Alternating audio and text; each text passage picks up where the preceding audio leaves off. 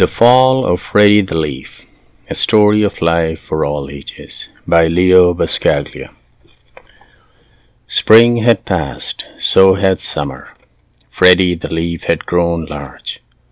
His midsection was wide and strong, and his five extensions were firm and pointed. He had first appeared in spring as a small sprout on a rather large branch near the top of a tall tree. Freddie was surrounded by hundreds of other leaves just like himself, or so it seemed. Soon he discovered that no two leaves were alike, even though they were on the same tree. Alfred was the leaf next to him, Ben was the leaf on his right side, and Claire was the lovely leaf overhead. They had all grown up together. They had learned to dance in the spring breeze, bask lazily in the summer sun, and wash off in the cooling rains. But it was Daniel who was Freddie's best friend. He was the largest leaf on the limb, and seemed to have been there before anyone else. It appeared to Freddie that Daniel was also the wisest among them. It was Daniel who told them that they were part of a tree. It was Daniel who explained that they were growing in a public park. It was Daniel who told them that the tree had large, strong roots, which were hidden in the ground below. He explained about the birds who came to sit on their branch and sing morning songs. He explained about the sun, the moon, the stars, and the seasons. Freddie loved being a leaf. He loved his branch, his light leafy friends, his place high in the sky the wind that jostled him about, the sun rays that warmed him, the moon that covered him with soft white shadows. Summer had been especially nice. The long hot days felt good, and the warm nights were peaceful and dreamy. There were many people in the park that summer. They often came and sat under Freddie's tree. Daniel had told him that giving shade was part of his purpose. What's a purpose? Freddie had asked. A reason for being, Daniel had answered. To make things more pleasant for others is a reason for being. To make shade for old people who come to escape the heat of their homes is a reason for being. To provide a cool place for children to come and play. To fan with our leaves the picnickers who come to eat on checkered tablecloths these are all the reasons for being. Freddie especially liked the old people. They sat so quietly on the cool grass and hardly ever moved. They talked in whispers of times past. The children were fun too, even though they sometimes tore holes in the bark of the tree or carved their names into it. Still, it was fun to watch them move so fast and to laugh so much. But Freddie's summer soon passed. It vanished on an October night. He had never felt it so cold. All the leaves shivered with the cold. They were coated with a thin layer of white, which quickly melted and left them dew-drenched and sparkling in the morning sun.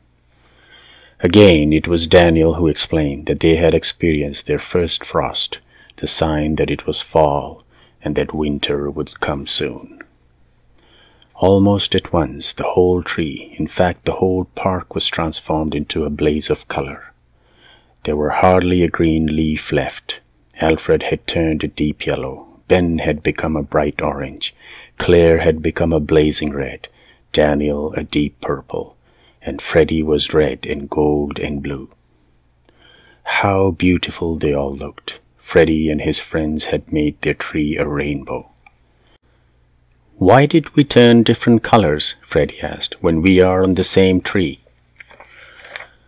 Each of us is different. We have had different experiences. We have faced the sun differently. We have cast shades differently. Why should we not have different colors? Daniel said matter-of-factly. Daniel told Freddie that this wonderful season was called fall. One day a very strange thing happened. The same breezes that in the past had made them dance began to push and pull at their stems, almost as if they were angry. This caused some of the leaves to be torn from their branches and swept up in the wind, tossed about, and dropped softly to the ground. All the leaves became frightened. What's happening? they asked each other in whispers. It's what happens in fall, Daniel told them. It's the time for leaves to change their home. Some people call it to die. Will we all die? Freddie asked. Yes, Daniel answered. Everything dies, no matter how big or small, how weak or strong. We first do our job, we experience the sun and the moon, the wind and the rain. We learn to dance and to laugh. Then we die. I won't die, said Freddie with determination. Will you, Daniel? Yes, answered Daniel, when it's my time. When is that? asked Freddie.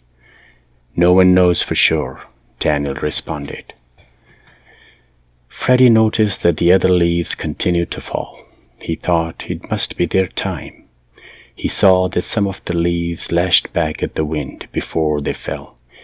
Others simply let go and dropped quietly.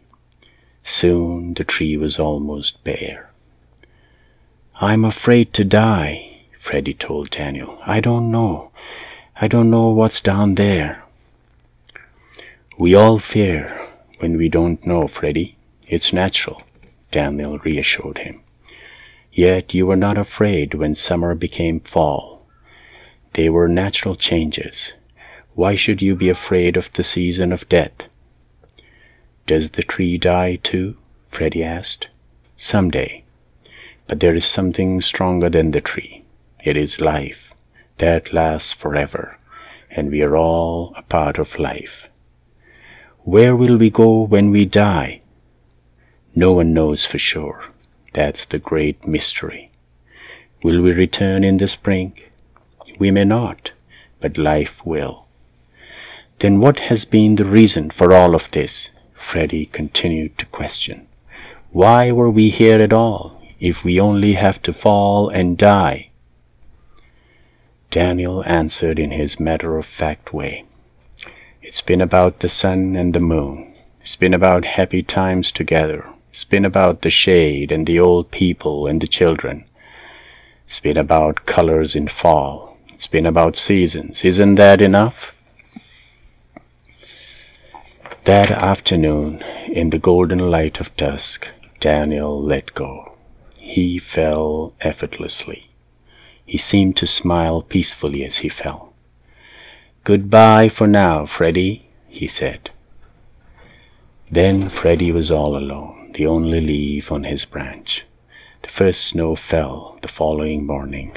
It was soft, white, and gentle, but it was bitter cold.